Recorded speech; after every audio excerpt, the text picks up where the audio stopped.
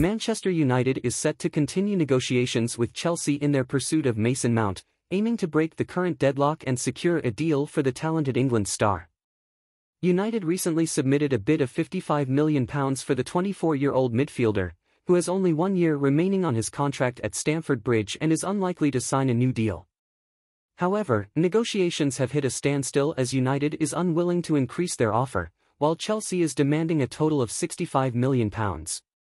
According to The Telegraph, representatives from both clubs will meet this week to discuss the potential deal and find common ground. It is in the best interest of both clubs to reach an agreement, with Mount being one of Erik Ten Hag's top targets for the summer and Chelsea keen to raise funds. United believes their valuation of Mount is fair, considering his contractual situation and the player's desire to move to Old Trafford.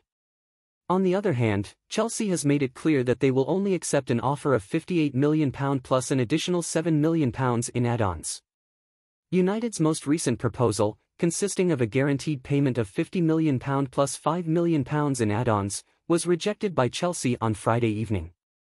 In response, Chelsea swiftly countered with their own offer, leaving the ball in United's court. As negotiations continue, stay tuned for further updates on this transfer saga.